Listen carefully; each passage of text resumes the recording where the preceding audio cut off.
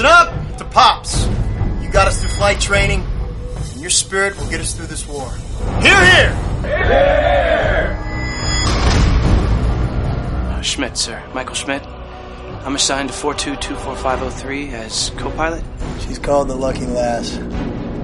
Welcome aboard. A pilot has to be more than just the guy who flies the plane. He has to be a father. Friend, all at once.